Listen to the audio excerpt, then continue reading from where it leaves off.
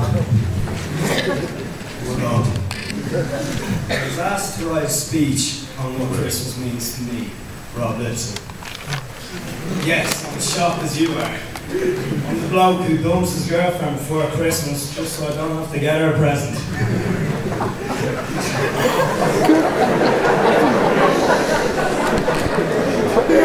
oh, I thought that was a joke.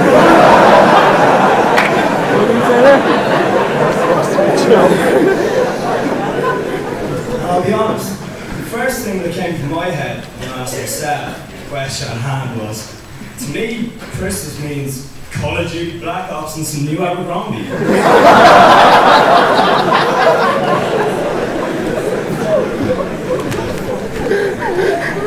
as I dwelled on it, I realised it actually is a special time of year.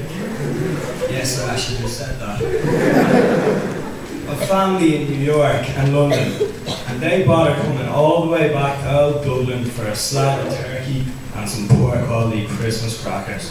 That's gotta mean something. Never really was a fan of Christmas crackers. Bang, measuring tape, fantastic.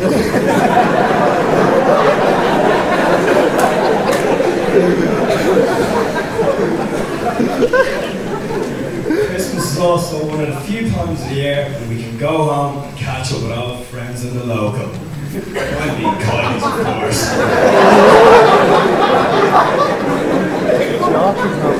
So go home and use your Christmas well. Really enjoy it. Because we all come back here after, it's a long stretch to the next break. Merry Christmas, keep it AMDG.